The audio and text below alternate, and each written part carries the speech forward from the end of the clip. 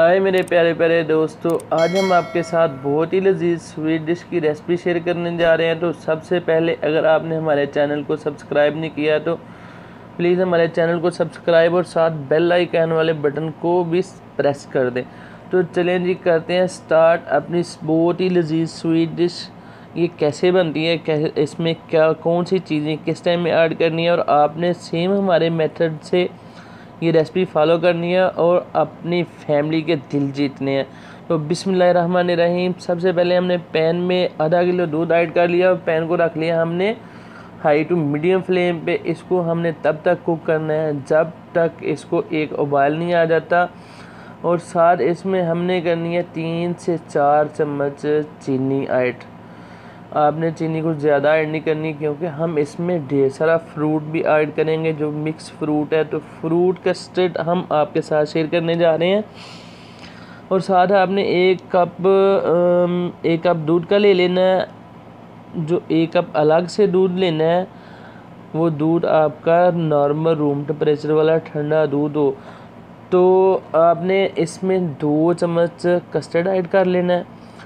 दो चम्मच custard add करने के बाद अच्छी तरह इसको आपने मिक्स कर लेना है। इसको इसमें कोई भी लम्स या गुठली वगैरह नहीं रहनी चाहिए। अगर आप गर्म दूध लेंगे तो इसमें गुठलियाँ बन जाएँगी और जो कस्टर्ड में बिल्कुल भी अच्छी नहीं लगती। तो इसको हमने एक बहुत ही प्यारा सा गोल रेडी कर लिया कर लिया अपना कस्टर्ड आधा कप दूध में मिक्स ये दूध हम आपको दोबारा बता देते हैं। जो आधा किलो लिया उससे अलग है। आधा किलो हमने जो फ्लेम के ऊपर रख लिया था और ये जो जिसमें हम कस्टर्ड मिक्स कर रहे हैं, ये एक कप हमने ठंडा दूध अलग से लिया।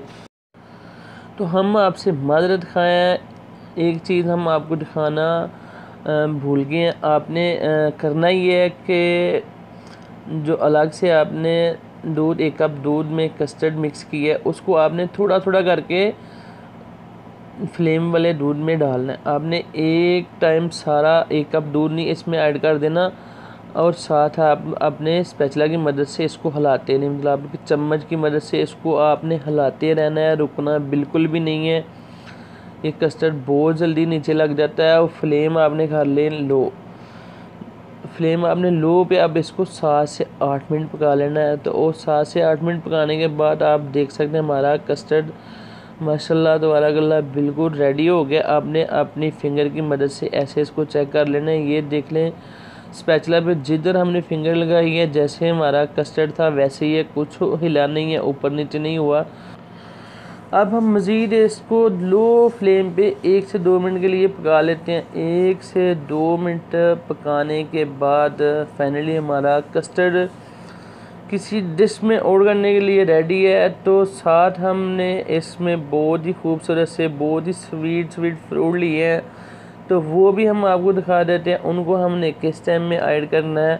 तो चलिए, अब हम कर लेते हैं इसको जी किसी कंटेनर में ऐड या किसी बोल में जो भी आपके पास अवेल हो, उसमें आप ऐड कर लें। और अब हम दिखा देते हैं आपको फ्रूट जो हमने इसमें ऐड करने हैं। तो फ्रूट हम जी लेके आ गए हैं। आप देख सकते हैं हमने लिए हैं दो बड़े साइज़ के। हमारे पास आलू बुखारे थे जो ब्लैक कलर के थे और बहुत ज़्यादा स्वीट थे। और एक हमने कीवी ली है, चार से पाँच दिन हमने खजूरें ली हैं, जिसमें एक से दो खजूर जो है, आधी कच्ची थी, आधी पक्की थी। इधर हमारे पास आधी कच्ची, आधी पक्की खजूरें मिल जाती हैं। अगर आपके पास फुल पक्की हो तो वो तो उसके जो क्या ही कहने और ये इसका इसका भी टेस्ट एक अपना है। तो अब हमने जो फ्रूट आपको दिखाए हैं, वो इसमें ऐड नहीं करने इस कंटेनर में ऐड नहीं करें। हम अपने इस कस्टर्ड को करेंगे जूस वाले कपों में ऐड जूस वाले गिलास में ऐड कर लेंगे। और जूस वाले गिलास में ऐड करने के बाद हम इसको कर, इसमें डालेंगे फ्रूट फ्रूट के साथ हम इसको कर लेंगे गार्निश और साथ हमने एक अदद अनार भी लिया है, जो बहुत ही ज़्यादा मीठा था।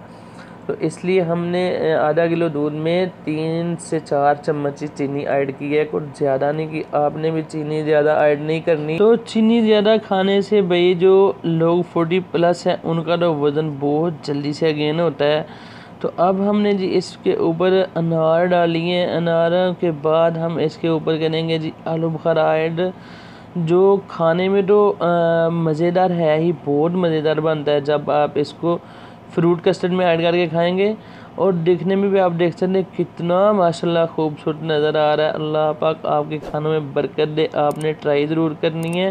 और हमें देना आपने अपना फीडबैक हमें रहेगा आपके फीडबैक का इंतज़ार। तो रखिए अपना और प्या, अपने प्यारों का बहुत सारा ख्याल। मिलते हैं किसी और नेक्स्ट वीडियो में, किसी नई रेसिपी के साथ। अल्लाह ने के बान।